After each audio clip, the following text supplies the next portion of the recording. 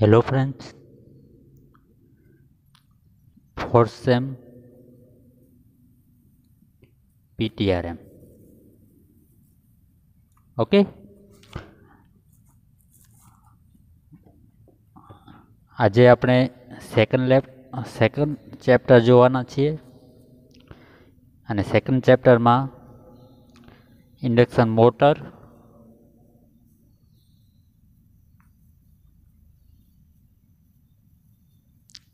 વિશે અભ્યાસ કરવાના છીએ. લાસ્ટ લેક્ચરમાં આપણે ચેપ્ટર નંબર એક વિશે અભ્યાસ કર્યો હતો અને એમાં ટ્રાન્સફોર્મર વિશે અભ્યાસ કર્યો હતો. એમાં આપણે થ્રી ફેઝ ટ્રાન્સફોર્મર નો જે બેઝિક સ્ટ્રક્ચર છે, પછી એમાં જે કઈ કઈ એસેસરી વાપરવામાં આવે છે? પછી ઓઇલ ગરમ થાય તો એને ઠંડુ પાડવા માટે કઈ કઈ મેથડ વાપરવામાં આવે છે? પછી બુકોજ રિલે. તો એવી ઘણી બધી વસ્તુઓ વિશે આપણે અભ્યાસ કર્યો હતો. આજે આપણે ઇન્ડક્શન મોટર ઇન્ડક્શન મોટર વિશે અભ્યાસ કરવાના છીએ, બરાબર?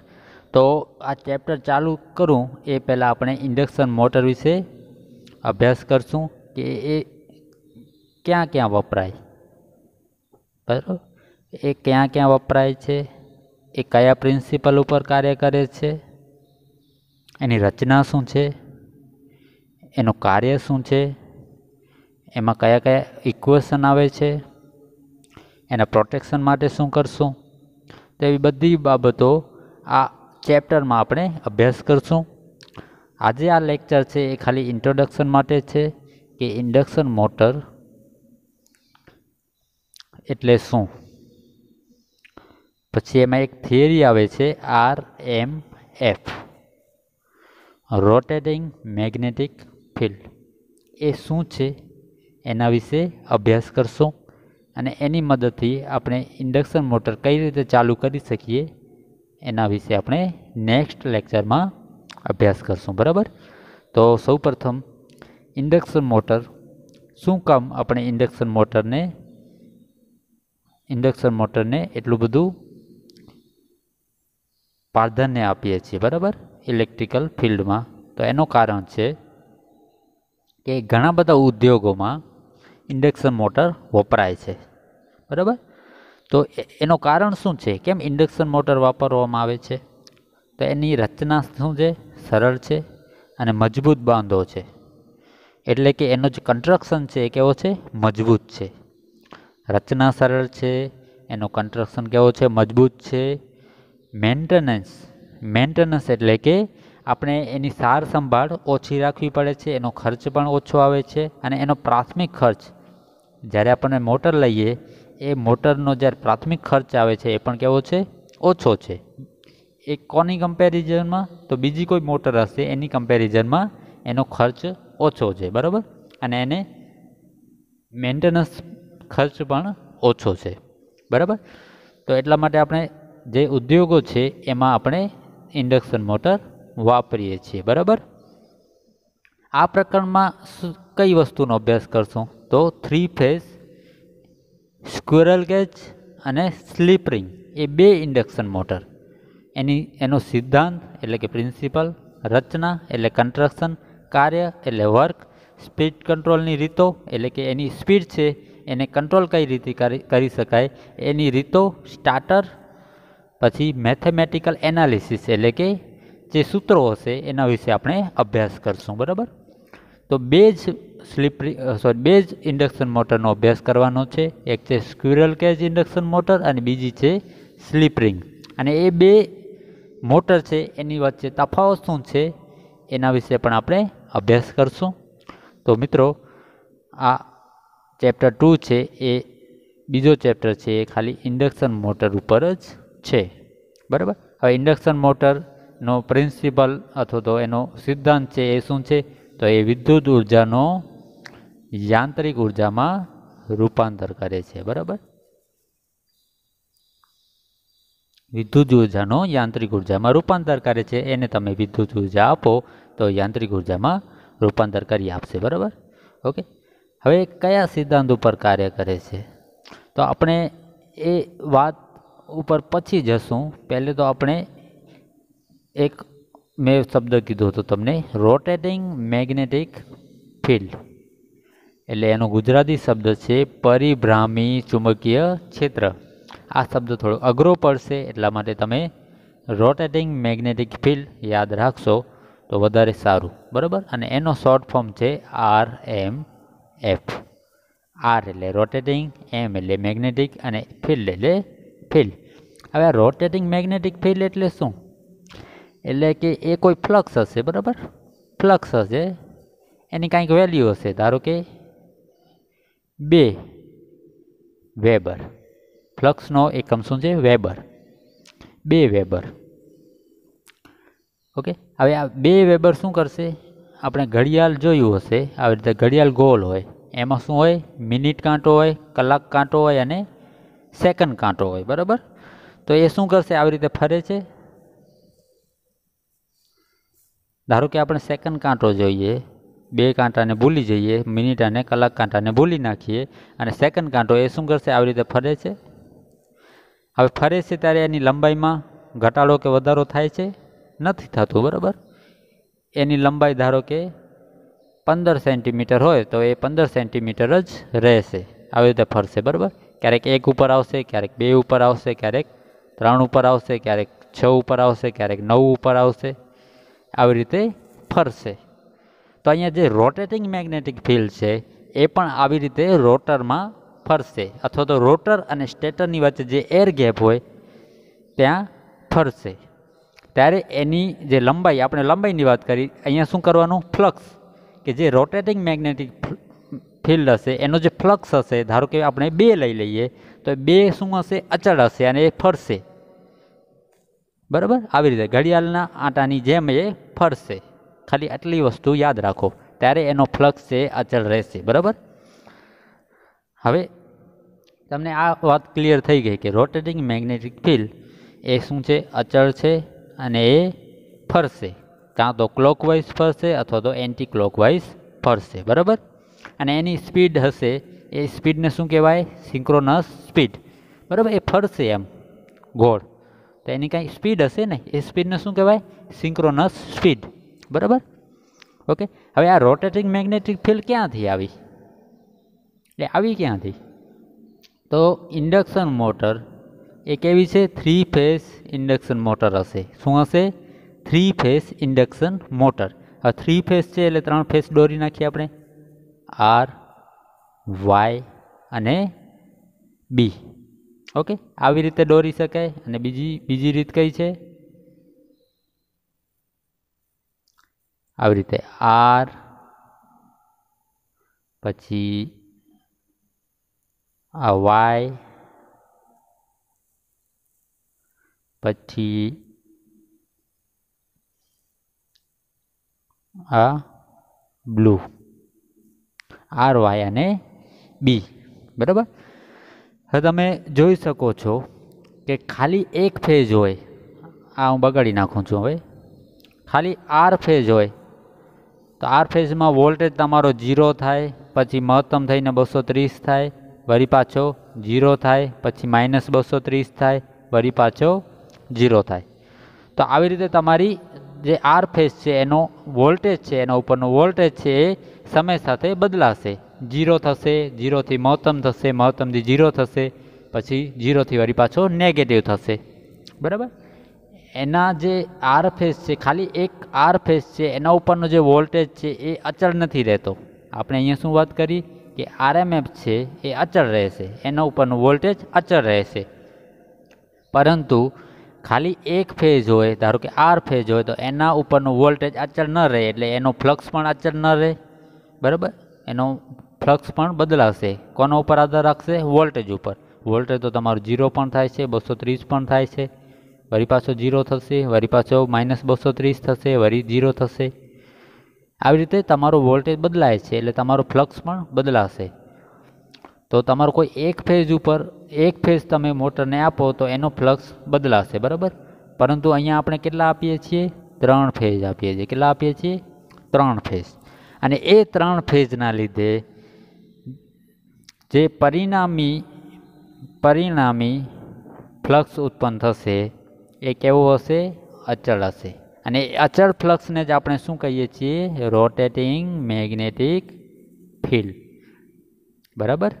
હવે કેવી રીતે થશે? એ આપણે એ આપણે આ લેક્ચરમાં જોશું. તો અહીંયા ધ્યાન આપો.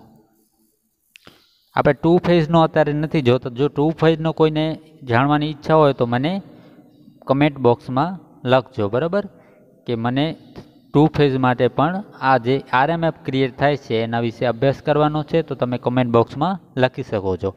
આપણે direct three phase induction motor વિશે ભણશું એટલે હું ડાયરેક્ટ થ્રી ફેઝ ઉપર જ ચર્ચા કરીશ. તો અહીંયા આપેલું છે થ્રી ફેઝ સપ્લાયથી ઉત્પન્ન થતું પરિભ્રામી ચુંબકીય ક્ષેત્ર એટલે આર એમ એફ એટલે કે જે થ્રી ફેઝ સપ્લાય છે, એનાથી જે ઉત્પન્ન થાય છે આર એમ એફ એ કઈ રીતે ઉત્પન્ન થાય છે એના વિશે આપણે અભ્યાસ કરશું. તો અહીંયા જુઓ, ત્રણ ફેઝ આપેલા છે, આર, વાય અને બી. બરાબર? અહીંયા જુઓ હવે. આર છે, આ વાય છે અને આ છે બી. બરાબર? હવે તમને ખબર છે કે ત્રણ વાઇન્ડિંગ હોય, એ એકસો વીસ ડિગ્રીના તફાવત ઉપર લગાડેલી હોય, બરાબર? તો તમે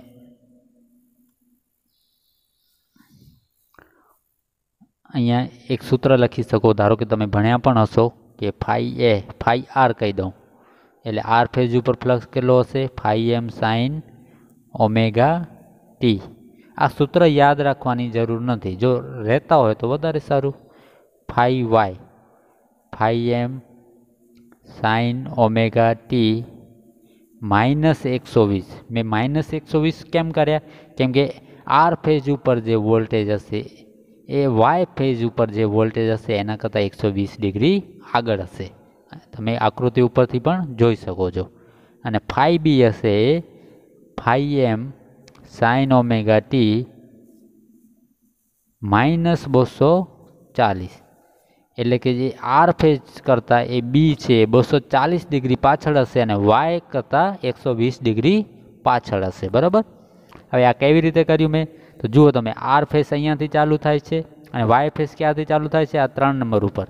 અને આ બે વચ્ચેનો અંતર કેટલો છે? એકસો વીસ ડિગ્રી. જ્યારે આ બી ફેસ ક્યાંથી ચાલુ થાય છે? પાંચ. તો આનો અંતર પાછો એકસો વીસ ડિગ્રી. એટલે આ એકસો વીસ અને એકસો વીસ કેટલા થઈ જાય? બસો ચાલીસ.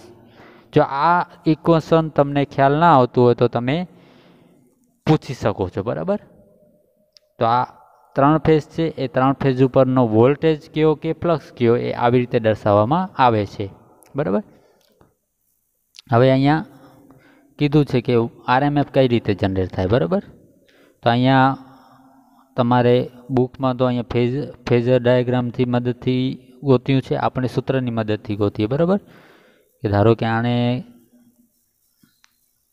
આપણે આ સૂત્રમાં કિંમત મૂકીએ, ધારો કે ધારો કે હું સૂત્ર લખી નાખું. ધારો કે મેં બે સૂત્ર લખ્યા. Phi R, phi m sine omega t. તો આમાં હું જીરો ડિગ્રી ઉપર આમાં હું કિંમત ગોતું ફાઈ આરની તો શું થાય ફાઈ એમ સાઇન ઓમેગા ટીની જગ્યાએ જીરો સાઇન જીરો એટલે જીરો એટલે ફાઈ આર આવશે જીરો એટલે આપણી ફાઈ આરની કિંમત મળી ગઈ જીરો પછી એવી રીતે હું ફાઈ વાયની કિંમત ગોતું તો phi m sine omega t minus એકસો વીસ તો અહીંયા હું જીરો મૂકું તો ફાઈ એમ સાઇન માઇનસ એકસો વીસ. બરાબર? હવે સાઇન માઇનસ એકસો વીસ એટલે કંઈક વેલ્યુ આવશે. બરાબર? એ વેલ્યુ તમે અહીંયા પુટ કરી શકો છો. એ તમારા માટે હોમવર્ક બરાબર? પછી આવી જ રીતે ફાઈ બી માટે તમે ગોતી શકો છો. અને ત્રણેયનો તમે પરિણામી મેળવશો તો તમારો જવાબ આવશે three by two phi m એટલે કે થ્રી ફેઝ સપ્લાય છે, એના દ્વારા જે રોટેટિંગ મેગ્નેટિક ફિલ્ડ ઉત્પન્ન થાય છે, એ છે three by two phi m બરાબર? ઓકે? અહીંયા તમારે આપેલું પણ હશે. આ બધું બુકમાં બધું કરેલું જ છે, બરાબર? તો તમારે કાંઈ પણ ડાઉટ હોય તો પહેલે બુકમાં જોજો, પછી મને કોમેન્ટ બોક્સમાં લખી શકો છો, બરાબર? તો આ જે three by two five m છે, એ તમે કોઈ પણ એંગલ ઉપર, મેં હમણાં ઝીરો ડિગ્રી ઉપર લીધો, તમે નાઇન્ટી ડિગ્રી ઉપર લો એકસો વીસ ડિગ્રી ઉપર લ્યો, ત્રણસો સાહીઠ ડિગ્રી ઉપર લ્યો, ગમે એ ઝીરોથી કરીને ત્રણસો સાહીઠ ડિગ્રી ગમે એ એંગલ ઉપર તમે એ ઇક્વેશનમાં પુટ કરશો, તો તમારો જવાબ આવશે three by two phi m અને એ અચળ ફ્લક્સ મળશે અને એ અચળ ફ્લક્સ તમારો ગોળ ફરશે. અને એને જ આપણે શું કહીએ છીએ? આર એમ એફ બરાબર? તમને કદાચ આ three by two phi m ન આવ્યું હોય, તો તમે મને કમેન્ટ બોક્સમાં લખજો. હું અલગથી એના ઉપર વીડિયો બનાવીશ. બરાબર? કે આ કેવી રીતે ઉત્પન્ન થાય છે. બરાબર? તો આ three by two phi m તમારો ઉત્પન્ન થયું. હવે એની સ્પીડ વિશે આપણે ચર્ચા કરી હતી. તો એની સ્પીડને કહેવાય સિંક્રોનસ સ્પીડ અને એનું સૂત્ર છે એન એસ બરાબર એકસો વીસ એફ ભાગાકારમાં પી પી એટલે પોલ. પોલ. અને એફ એટલે ફ્રીક્વન્સી. પોલ એ રોટરના કન્સ્ટ્રક્શન ઉપર આધાર રાખશે કે ધારો કે બે પોલવાળી મોટર હોય તો અહીંયા બે મૂકવાના, ચાર હોય તો ચાર મૂકવાના, અને એફ તો તમારા પચાસ હર્ટ્સ અચળ હશે. બરાબર? ધારો કે હું બે પોલવાળી મોટર લઉં, તો મારી સિક્રોનસ સ્પીડ કેટલી આવશે? એકસો વીસ ગુણાકારમાં પચાસ, ભાગાકારમાં બે, એટલે સાઠ એટલે શું થઈ જશે? છ પચાસ એટલે ત્રણ હજાર આરપીએમ. આ આરપીએમ એ મોટ, જે ફિલ્ડ તમારી જનરેટ થઈ. કઈ ફિલ્ડ? આરએમએફ. એ કઈ રીતે જનરેટ થઈ? તો થ્રી ફેઝ સપ્લાયના લીધે જે આરએમએફ ફિલ્ડ જનરેટ થઈ. એની વેલ્યુ છે three by two phi m any speed કેટલી હશે? કેટલી સ્પીડથી ફરશે? ત્રણ હજાર આરપીએમ. એટલે ત્રણ હજાર આરપીએમ એટલે કે ત્રણ હજાર વખત આટા મારશે આરપીએમ. એટલે એક મિનિટમાં એ ત્રણ ત્રણ હજાર આવી રીતે આટા મારી નાખશે. બરાબર? આવી રીતે. ત્રણ હજાર વખત. એક મિનિટમાં. બરાબર? એટલે સ્પીડ તમે ઇમેજિન કરો કેટલી થશે. તમારી જે ફિલ્ડ આ ઉત્પન્ન થઈ three by two five m એ આવી રીતે આંટા મારશે.